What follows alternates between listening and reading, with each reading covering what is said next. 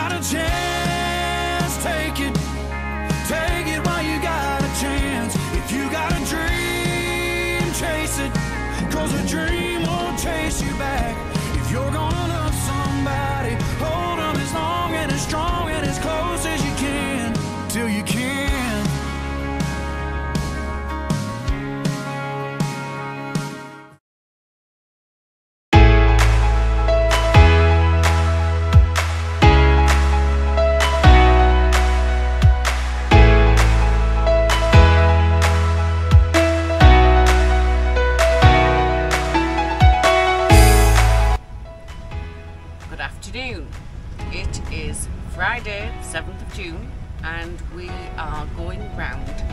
Cape Trafalgar. So that Trafalgar Square in London with the big uh, statue um, and the lions on it, that's where it comes from, from the famous battle that was held here.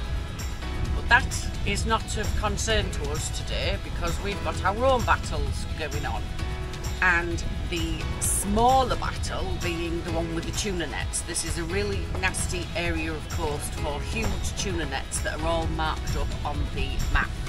Sorry, Stuart's trying to get in and trying navigate. Yeah, he's trying to sail the boat. Um, so we've got tuna nets to avoid. Um, we've done one lot successfully, and you could see between the um, like the big boys, you could actually see them all floating on the surface, like um, you know those lane dividers in the swimming pool? They actually look like that on the surface, but I couldn't film it because it was too far away, you'd never see it. Then we have the orca whales, killer whales. Um, they are extremely active in this area and they have been attacking sailboats for a couple of years now and it's random. Um, and what they do is they come and try and basically bite the rudder off. Um, so that's your steering mechanism that sits underneath the boat. So the strategy is basically um, keep nice and close to the shore. So we're in depths of sort of 20 metres and less, and watch out for them. Um, so far, I was going to say we've had zero sightings and it's all been very calm. So we're quite glad at that, even though it's grey and you know weather's not great today. It's like being back in England, not Spain, but it is all fine on the whale front. But we are going round the corner of Cape Trafalgar and towards Tarifa and then into the Gibraltar Straits. So I will um, give you a further update later. That's if we're still alive. It's got out nice this afternoon, and I just wanted to say that I'm really excited because we can see Morocco through the cloud. I'm going to show you anyway, you probably can't see it. In fact, I'll probably put one of those little arrows on to show you where it is, but we can see the mountains of Morocco, so it's really exciting. There you are. Looks like a bunch of cloud to you lot, but honestly, honestly, I can see through them with my X-ray vision, and I can see two sets of mountains. Well, it'll be the same set of mountains, but I mean two patches through the cloud.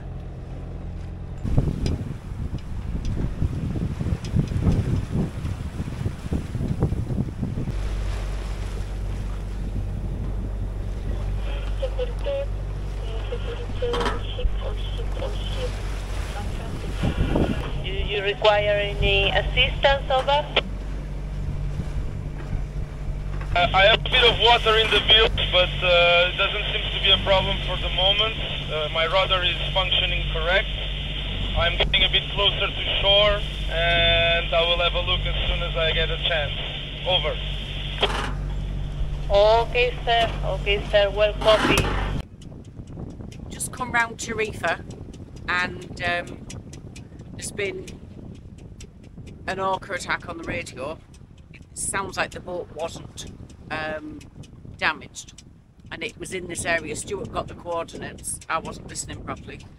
And um, as we've come through, we've seen a fin next to the boat. One fin twice. And that's it. So we're on red alert because we're not out the danger zone yet. Um, we've come back into the shallower water, but like I say, we're still not out of the um, danger zone, so we've got eyes peeled galore. More like out on stalks, I think. The good news is here we haven't seen any more orcas yet, and we're just arriving in the Bay of Gibraltar. And it's like Paddy's Fair. I've never seen anything like it. The sea's got up, um, and there's just ships everywhere. Right, I might eat my words here, but I'm going to say this for the record. Um, I thought Gibraltar was supposed to be like Monaco, like some chic place. And it is like arriving in Teesport. Um, I, I've never seen anything like it. And I've been all over. This is the Spanish side over here. All, I mean, it's Al, oh, Algeciras port on this side. And we've got all ships anchored in the middle. We've got oil works, tons of cranes. Um, obviously a huge, huge, huge busy port. But never have I heard that Gibraltar faces this. So I'm a bit stunned. Either I've not done my research, um, or I've misunderstood, or what. But like I said, might eat my words. But this is my first impression state of this where we are on this um, holding pontoon. We've been going round for an hour. We didn't know where we were going. We don't speak hardly any English. My Spanish was uh, not working to find out where it was going. Absolute nightmare. There's like these great big girders sticking out of the pontoon side. So we've had to ram fenders down there. But the movement on it is horrific. I've had enough, absolutely had enough of this. Um, one of the, I think one of the worst places I've ever come in. Well, the first thing I'm going to say is I think my hair says it all. Um, that coming in was absolutely horrendous. I think it was probably one of the worst parts I've ever been in, and the landing because of that. Well, first of all, the wind got up like 30 knots, so that's just lovely when you're starting to try and park your boat after doing an 18 hour sail. And then the pontoon that we went on was just awful, wasn't it, Stuart? It was like an industrial pontoon. Yeah, it was a, a reception pontoon, so not only um, did you have to park the boat once, you had to park it twice. And the reception pontoon was made out of concrete, and it was a high wall, which meant that the fenders um, weren't actually touching the pontoon, so the um, hull risked scraping against the concrete. So at the last minute, we had to raise the the, um, the fenders um, with a, a 30 knot wind pushing us onto the onto the pontoon, and then we had to climb up the pontoon. Um, then once we um, went through the reception and booked in, uh, we were told to go to another pontoon. So we had to get off this pontoon, but to get off the pontoon with it onshore, 30 knots onshore, without being able to spring the bow of the stern out was very, very difficult. Uh, anyway, but we managed it. Um, I was going to say, and then we had to reverse in the dark with the horrible wind to a pontoon where the guys were there to help us swinging their lanterns so we could see where we, we were going. The wind wasn't playing ball, so then we had to turn round, change sides, which meant while Stuart's trying to do his manoeuvring, I'm rushing around with the fenders, changing all the sides. Fortunately, I'd already got the ropes on. But yeah, the whole thing was just horrible.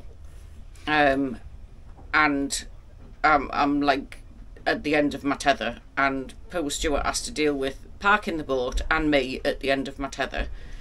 So obviously we've got the Plymouth out. Um, we're nearly at the end of it. We were going to have it anywhere to celebrate getting in, but fucking hell, we need it. Um, but but the sail was good. Yes. Excellent sail. Down the Straits of Gibraltar, we got up to um, 10 knots. Rode down the, the Straits of Gibraltar. So we're very glad it's all over. So now we're in the Med, apparently our holiday, and we start living from this point forward. And I tell you what, I hope Bleeding Gibraltar's worth it because after all that to get in, um, it had better be.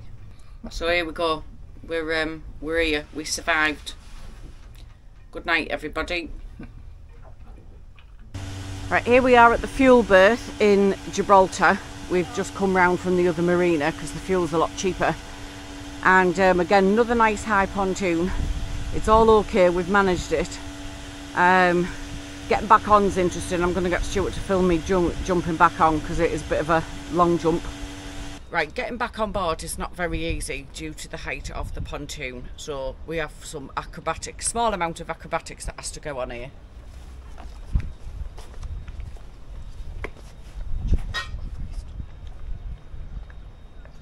Right. One, two, three. There we are. Safely back on board. Where the fuel station is, is right next to the runway. So we've just got an EasyJet taking off right now.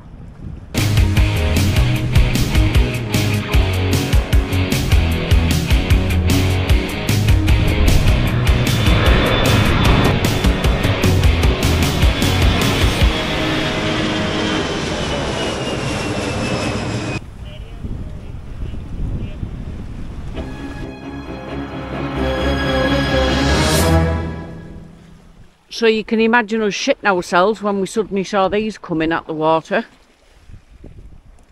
But they're dolphins. Ah! Jumped right out the water.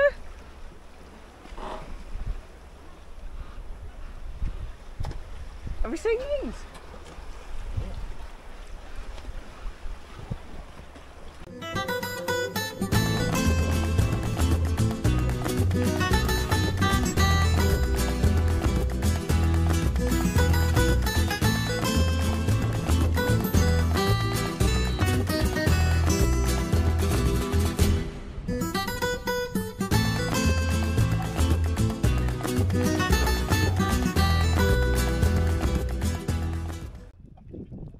Is he having a laugh? Is he having a laugh? So there's the red dinghy, then there's a little one, and a Hallberg-Rassy. It looks like next to the Hallberg-Rassy. That won't fit. There's no way that'll fit. That boat's completely skew with. We'll never get in there. That boat will not fit in there. That's impossible. He's too far. He's too far over.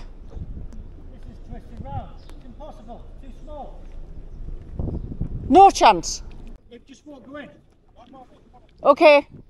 Just. I'd reverse out. It's what I hate. People who give you parking allocations. They've never sailed a pissing boat in their lives. Never mind parked one. Okay. Okay. Okay. No problem. Thank you. It's to do with allocating you the size of berth for your boat. Because they were saying in Fuengirola, uh, what they do is they say, oh no, we have no space for your boat, but we'll give you an 80 foot catamaran job. And then you pay £6,000. So that's common practice. Right, let me go check this out. Okay, Stuart. So we've got Stuart, we've got a white one, a white one, and a navy one. So it won't be there. So I'm guessing after this navy one, Stuart. Can you see the navy one? Please tell me not there. That's too that's too narrow. Where is he? Oh, he's saying in, in there. That's just the same. There's no way. No way.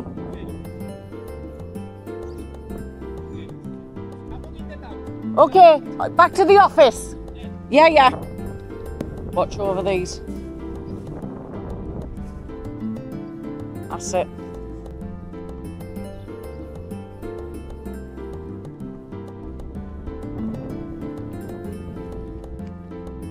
Yeah, you're okay, Stuart. You're okay, you've missed all these lines. They must be absolutely stupid in the office. You'd get a 37 footer in there. Jesus Christ, we need more Plymouth. I know from even going in that one in Pornichet.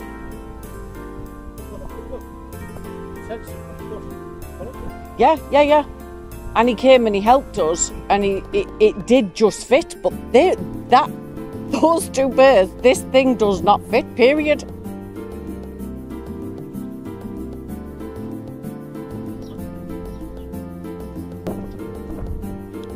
And as for that twat saying if they don't like it they can fuck off. What cheeky fucking bastard. This honestly, this is. uh, I'd, I'd pay for everyone's boat repairs for the principle of proving that the fucking boat don't fit.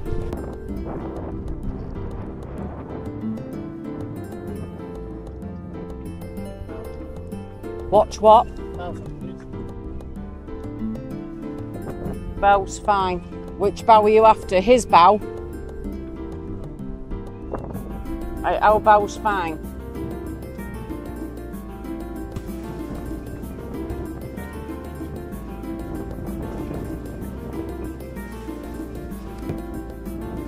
Okay, one, two, three. That's one on. Right, one, two, three.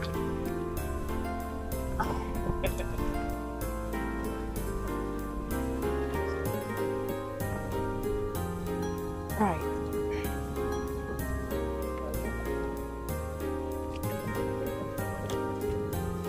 And slime line. Right, how does this go around here?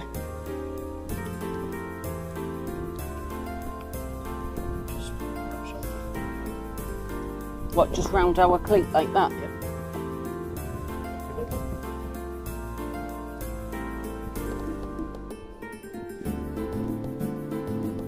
Ah, excelente. Gracias. Buenas tardes.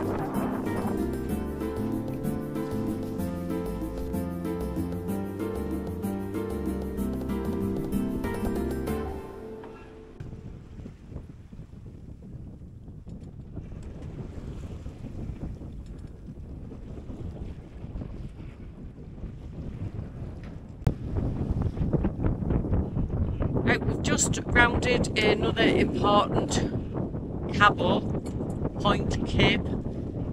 Cabo, shit, I even looked on the map before we did this. Palos, Palos, thank you, Stuart. Cabo Palos. And that means we are now on the home straight up to Benidorm, which is where we are heading. But I looked in the book earlier, Benidorm doesn't actually have a port that is big enough um, for anything. It's a tiny, tiny port. Um, it's had no development whatsoever despite the size of Benidorm, so that is quite surprising. Anyway, we can't go in there. We could anchor, but I said to Stuart, I really don't fancy having to get the dinghy ashore and moor the dinghy up and then get the dinghy back after a night in Benidorm. That to me is asking for trouble.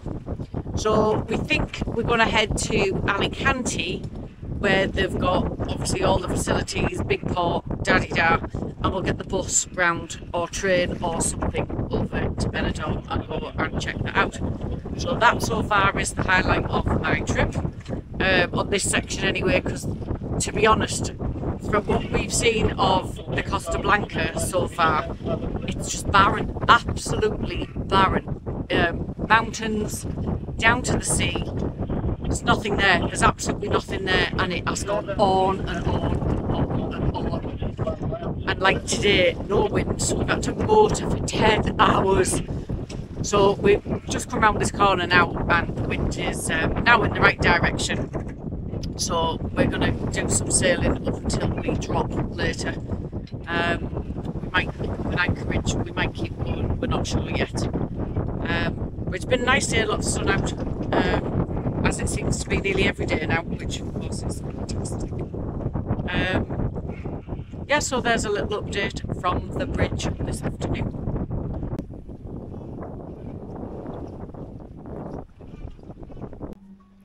I've just got out the shower and come up on deck, and it's absolutely beautiful. Beautiful light.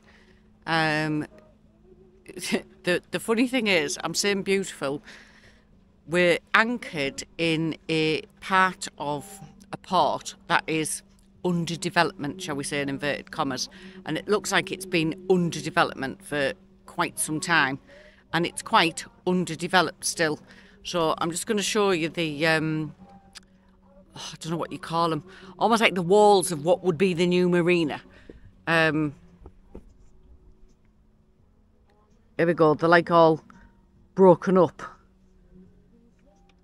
and over there as well. And I guess, as everything does with good light and good sunrise and sunset, all looks romantic um, and not as bad as it kind of does in reality, if you see what I mean. But anyway, the light's really pretty. Um, I just need some fresh air after the uh, steamy shower. Not not steamy shower, you know what I mean. The uh, warm bathroom.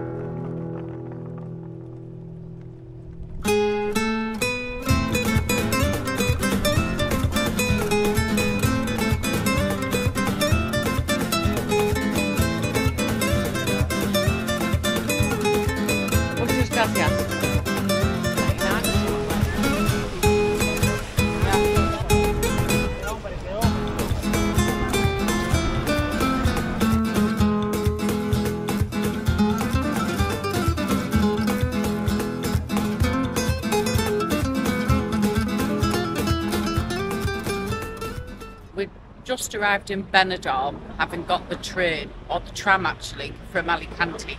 Absolutely superb um, tram. But we're so thirsty having to wait in the um, Alicante train station, tram station. And uh, so we've stopped on a bench on the side of the road with a can of Coke from the little corner shop just over here. Um, you know, the type of mini mart, I mean.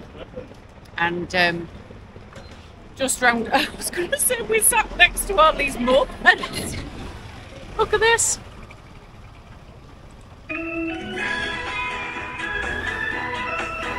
So that's our first stop living it up in Benidorm on this dodgy yellow plastic park bench.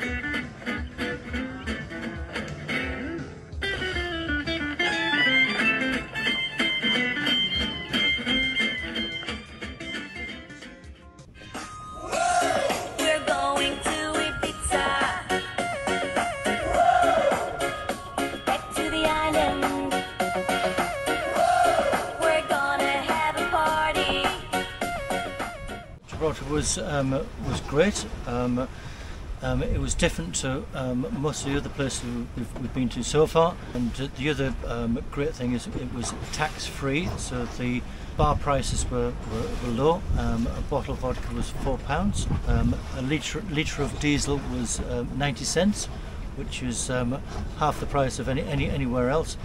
Um, but the other thing is quite vibrant. Um, uh, there's lots of activity, and there was even entertainment in the bars, which um, we haven't had so far. And it, it was British, but it was British not in a holiday sense. It was British as in a, a cultural sense. So yeah, I quite like um, uh, liked um, um, Gibraltar. The other thing I want, want to um, uh, point out and talk about is the orcas. Now the orcas um, in um, the Gibraltar Straits um, do present a real threat. While we're sailing through the Gibraltar Straits, we ac- actually um, heard of the radio um, three maydays um, of boats in front of us and behind us that had been attacked by um, orcas. Um, and it's only a matter of time before somebody gets killed by the, the orcas. My beef is the authorities are not doing anything to um, safeguard or protect us. If it was a marauding pit bull terrier in Manchester, um, something would have happened. Or if it was a, a marauding um, elephant in um, India, so the authorities would have done something to protect us. Um, the advice that the authorities um, give us are um, very uh, benign and uh, non-offensive towards the, the orcas because the orcas are protected species. Um, the advice, uh, advice um, are things like keep to 20 metres.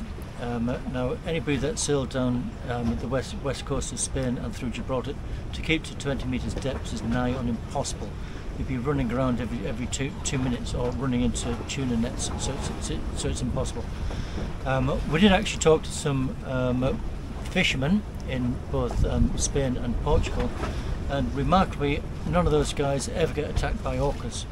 Um, they do have certain techniques that they use and utilise um, to protect themselves, um, which we're not allowed to do. Um, it's not the um, the advice that we're given, but they never ever get any um, uh, any um, attacks in, in themselves. The orcas only ta- attack yachts people that are making a, a, a, um, journey down through the Straits of Gibraltar, which is it, which is interesting. I loved Spain. Absolutely loved it. We had to skip the Costa del Sol because we just needed to make progress further up north.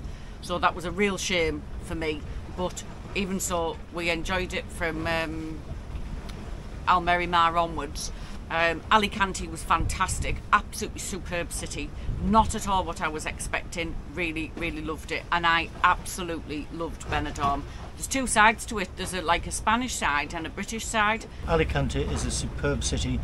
The people and the culture is absolutely superb. The um, prices are extremely good value for money. Um, great, great food, um, and the public services are, are, are top class. The um, tram system, the rail system, Yeah, and the buses. and the and the cleanliness of, of the towns and cities is first class. Um, and I, I recommend it. You know, if you get a chance to go there, go there. There you are. Um, hope you've enjoyed it. Join us for the next one where we are in Ibiza, Mallorca, and then heading across to south coast of France. So, thank you very much. See you later.